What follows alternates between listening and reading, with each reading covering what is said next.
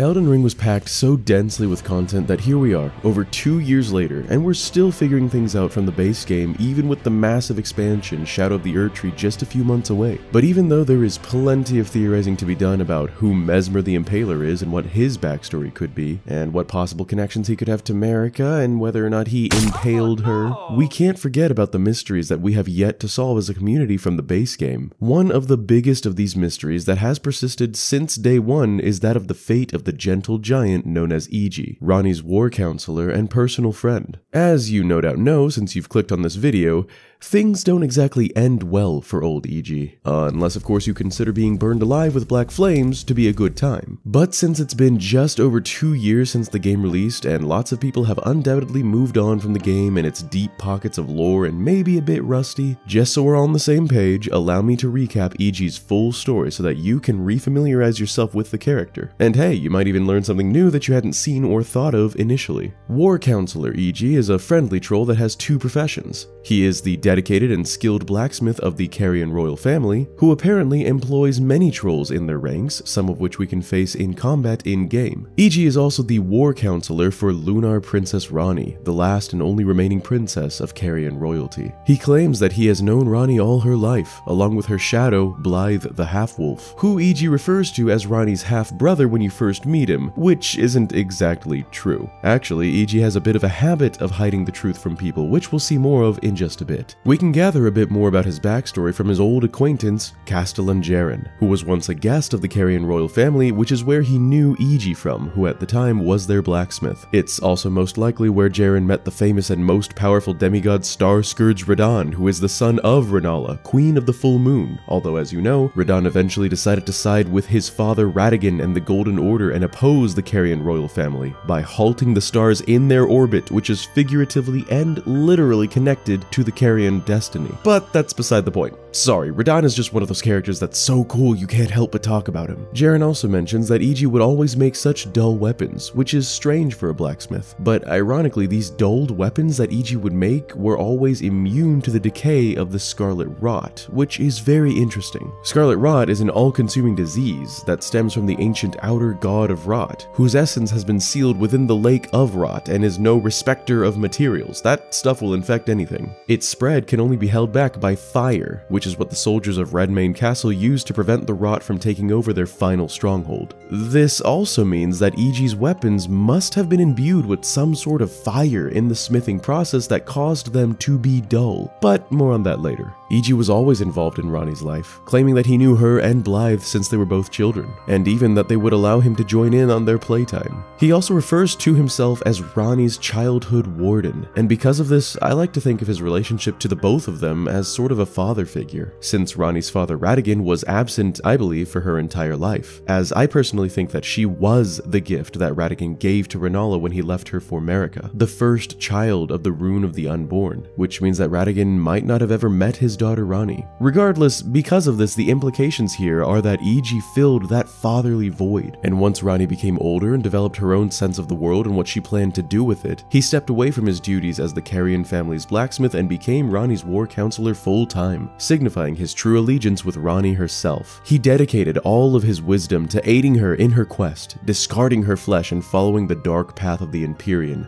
regardless of what that meant or who she had to betray, and this is what his status was at the time of meeting us, the player Tarnished. And Blaidd had spent years going on expeditions trying to find the mysterious underground city known as Nokron, one of the twin Eternal Cities, in order to further the destiny of Lady Ranni. However, even though they found the city physically, they were stumped for who knows how long attempting to actually get into Nokron, which is where you come into the picture, assisting the duo with entering Nokron by talking to either Sorceress Sellen or Castellan Jerren, either of which will give a hint to the fact that Starscourge Radahn must die in order for the stars to be allowed to move once again, since, you know, he's holding them back since he's a badass. Which, like I mentioned earlier, is literally what needs to happen for Ranni's destiny to move once again. After Radahn is defeated by you, a star does indeed resume its course and becomes a meteor that crashes into the lands between, opening an entirely new path into Nokron that was previously completely inaccessible. After this, Iji commends you on your massive achievement, you know, defeating the general in combat, and interestingly, comments about the fact that he hopes Jerren will resume his previously promised quest, ridding the family of a, quote, long-standing carrion weed. As a side note, he's referring to the fact that Jerren, who is a renowned swordsman, had promised the Carian family that he would kill the sorceress Sellen for her betrayal of the family, which you can also help him to do or not do. But anyway, Iji then urges you to descend into Nokron and obtain the precious treasure of the city, not mentioning what that treasure is, and also not mentioning meeting Blaidd, which he previously would have absolutely told you to do like he did when you first met. There is a reason for this. Like I mentioned earlier, Iji hides certain truths from certain people. To Blaidd, he hid the fact that he was not actually Ranni's half-brother, but rather her shadow, a gift given to her, conjured up by her two fingers when they initially chose her as their Empyrean to replace Queen Marika on behalf of the Greater Will. However, as a creation of the two fingers, Blaidd came with pre-programming. If Ranni were to ever resist the will of her two fingers, Blaidd would turn from her faithful shadow into a baleful shadow. In other words, he would try to assassinate her. And to you, Iji hid the fact that the treasure of Nokron that he requested you to obtain instead of Blaidd is none other than the Fingerslayer blade, a testament to the hubris of Nokron, and undisputable proof of Ranni's intentions to not only revolt against her two fingers, but to kill them. Since this was clearly a massive sign that Ranni was deciding to revolt, he wanted to get out in front of things and therefore made the decision to lock Blaidd away within an Evergaol. Specifically, the far-off Forlorn Hound Evergaol, which Blaidd can be seen at previously attempting to kill the Bloodhound Knight Darriwil, who he claims, interestingly, is a traitor. If you ask Iji about Blaidd's whereabouts, he will lie to you and state that Blaidd has some other very important task that was given to him and that you shouldn't worry about him anymore. At this point, you can either go and find and free Blaidd yourself or wait for him to break out on his own. But if you do decide to free Blaidd, who reveals to you in genuine confusion that Iji is the one who trapped him, you can then return to Iji and confront him about this, which will finally force him to reveal to you the truth about Blaidd's eventual madness and his belief that Blaidd must be neutralized. He gives you one final hint as to how to chase after Ranni and help her complete her quest line, which actually involves killing another shadow, another Blaidd, and then allowing her to finally kill her own two fingers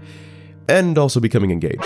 But that's beside the point. After this, Ranni disappears until the end of the game, but a bunch of different confusing things happen all at once, which I'll state briefly. Black Knife assassins show up outside Ranni's rise, having been killed by Blaidd, who is now aggressive towards you, but still sane enough to declare his undying allegiance to Lady Ranni, after which you put him down like a rabid dog. Then you can speak with Iji one final time and he delivers some very, very interesting dialogue. He starts by wondering how Blaidd escaped from the Evergaol, but after that becomes riddled with guilt over the fact that he was wrong about Blaidd. The madness could not shake Blaidd's love for Ranni. Iji then states that he made a grave misjudgment, shaming himself by pointing out that he thought he was a capable war counselor, and his last words are to Blaidd, promising that he would catch up with him in death soon enough, begging for his forgiveness. And when you next see him, he's eerily on his knees, hammer in hand, dead. But it's these final couple details here that make his death the very mystery that it is. He's surrounded by the corpses of three additional Black Knife assassins, and he's permanently burning with black flames. So, now that we've recapped everything there is to know about Iji, let's start breaking down the mystery behind this last encounter with him and opening the can of speculation at the same time. In the first place, I think Blaidd had completely defied his programming and was 100% sane, standing outside her tower, which he believed she was still in, killing anyone who dared to enter since there were literal assassins approaching the building. And since he was betrayed by his closest friend since childhood and father figure Iji, he didn't know if he could trust you either, and that's why he decided to fight you. Not out of madness, clearly, but out of protection. That has nothing to do with Iji, but I just wanted to put that one out there since I do believe we murdered an innocent man, as does Iji, and more people should feel bad about that. Anyway, most people know about Iji imprisoning Blaidd, but I don't think people realize what Iji probably also did to make him this regretful in the end. This definitely feels like he's apologizing for more than just locking him away in a prison for a day. In summary, I think that the Black Knife assassins that were outside Ranni's tower were not actually targeting Ranni, as many people assume, but were there for Blaidd. And I think Iji is the one who placed the bounty on Blaidd's head. I mean, the assassins show up after Ranni's two fingers were killed, right? So it's not like they could order the hit on her, and nobody else is left alive and sane enough in the world to oppose Ranni at this point. And what Iji says right here It pains me so, but he must be neutralized for Lady Ranni's sake. really sounds like he wanted Blaidd neutralized. Dead, not just imprisoned. And remember, Iji has known Ranni and taken care of her and advised her since she was a child, before she had any aspirations to end the Golden Order and everything as we know it. Which means he was there when she burned her own flesh away. He was there when she stole the fragment of the Rune of Death. He was there for the night of the Black Knives. And he wasn't just there. Iji is Ranni's war counselor. More than likely, he advised this. So who's to say he isn't the one who ordered the assassins to kill Godwyn in the first place, perhaps by some deal or bargain he struck, or at the very least that he knows how to strike a bargain with these Black Knife assassins. And if you think that's overestimating him, remember, he does strangely possess knowledge of ancient and forgotten legends, such as the Treasure of Nokron, as well as having a thorough grasp on the Outer Gods and how to successfully thwart them. And he spends his days and nights reading and studying. So I think it is very safe to assume that Iji made a bargain with the Black Knife assassins, like he may have done before with Godwyn, but to kill Blaidd this time. And that is why he was so sorry in the end. But then one of two things must have happened. Either the deal went bad when Blaidd broke out of the Evergaol and was no longer the promised easy target to the Black Knife assassins, instead killing several of them, so they in turn went back to Iji, to the one who struck the deal and promised them an easy kill and attacked him. Or Iji may have ordered another hit on himself. But more on that in just a second, because now it's time to tackle this big question. The one I've been building up to this entire time. Who killed Iji? Well, the way I see it, the answer is here somewhere, staring us in the face. But there are two possible solutions to this mystery, and you'll have to tell me which one you believe is more believable. The first and most obvious is that the Black Knife assassins who returned to kill Iji simply finished the job, and did just that killed Iji. The only reason why this isn't as simple to understand and accept is because Iji is burning with black flames. And if this were any other Joe Schmo game out there, I'd say, okay, whatever, they did this kind of because it looks cool, but this is Elden Ring, people, FromSoftware's biggest game of all time, with an attention to detail that makes a Van Gogh portrait look like my drawing of Pikachu. Black Flame is specifically God-slaying flame, used by the Godskin Apostles, the source of which is the Gloam-Eyed Queen's Godslayer Great Sword. There have been several updates and patches to the game since release, and none of these have changed the color of Iji's ever-burning flames, signifying to me that this is deliberate. Obviously, this is a problem, though, since the Black Knife Assassins use the power of destined death on their blades to kill people, which granted is also a fire, but one that burns black red instead of black white. But I think this has a solution. Remember that the god-slaying flame is only a husk of what it used to be. This is told to us several times in the game, and once upon a time the flame was much more potent and could actually kill gods. What changed, you ask? The removal of the rune of death. That's right. Before Maliketh took the Rune of Death from the Gloam-Eyed Queen and her God Slayer Greatsword, she used it in order to create the God Slaying Black Flames. And you can probably see where I'm going with this. What if the Black God Slaying Flames, as we see them today, and the flames of the Rune of Death are one and the same, and the Black Flames are just what they look like when they lose most of their power? Or for instance, after a kill. Think about it, when the Black Knife Assassins, who use destined death empowered daggers, killed Godwyn, he was carved with a black curse mark and was filled with black smoke. And when Iji was killed, he was burned with black flames. So, possible answer number one is that it was simply the Black Knife assassins that returned to Iji and killed him for their deal going bad. And he was able to kill three of them before succumbing to the wounds inflicted by their destined death-empowered daggers. Option two, on the other hand, is a bit more speculative but much more intriguing. And that is that Iji may have killed himself. Like I just said, he was able to kill the assassins that came for him. It's possible that there were more than three, but clearly he could fend for himself. For this possibility, I'd like to remind you about what Jerren said regarding Iji's blacksmithing. Remember that specifically, the weapons Iji would smith were always dull, but would never rot from the scarlet rot, implying very strongly that Iji could somehow imbue his weapons with fire, which is the only known substance to resist the corruption of rot. It seems like a throwaway detail, but remember, there are no throwaway details in Soulsborne games, so it's possible that Iji, who knew he was going to die after we told him about Blaidd's death, said this because he was riddled with guilt and decided then that he would end his own life out of shame.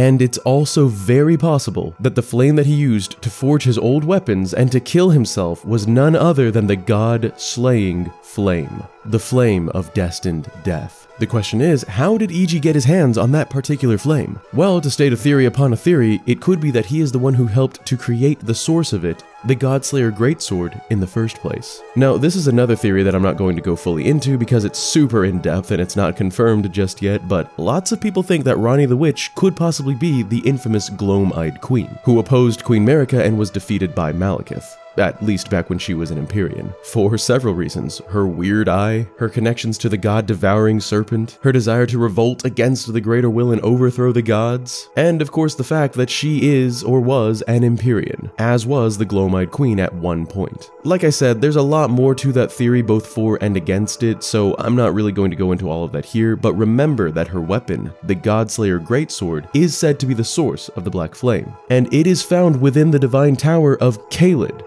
completely unaffected by the Scarlet Rot, and is a completely blunt weapon. There is no edge on it, which is very strange for a sword, and fits with the description of the blunt weapons Iji would smith according to Jerren. So, in a nutshell, it's possible that Iji was the war counselor and blacksmith of the Gloam-Eyed Queen, who for the purposes of this theory could be Ranni the Witch. But like I said, Ranni being the Dusk-Eyed Queen is an entire other theory that encompasses lore regarding Destined Death, Melina, and Marika herself, so I'll just leave that where it is for now. If you would like for me to make a video regarding who I believe the Gloam-Eyed Queen is, because I do have several thoughts on the subject, let me know in the comments below. And also let me know who you think delivered Iji the Troll's fate to him. Was he slain by the Black Knife assassins who used destined death on him, smoldering his body with black flames and killing him forever? Or did he elect to take his own life, using the black god-slaying flames that he himself had a hand in creating? Let me know what you think in the comments below, and whichever commenters have the most likes on their answers will be regarded as the solution to this original Elden Ring mystery. Thank you so much for watching. If you would be so kind, please consider leaving a like on this video to get it spread around to other Elden Ring fans just like you and me, and generate more hype for the expansion coming in just a few short months. And if we have a good turnout on this video, I will continue to make Elden Ring theories. And speaking of which, subscribe if you haven't already for much more Elden Ring lore. Be sure to check out my other videos covering Blaidd's story in full as well as Ranni the Witch, which I will leave a link to in the description below. And finally, come say hi to me on Twitter. It'll be good to connect. And stay tuned, I may be streaming Elden Ring this week actually, so come hang out. Okay, that's all I've got for this one, so as always, I will see you in the next video. This is Bandit, signing out. Peace!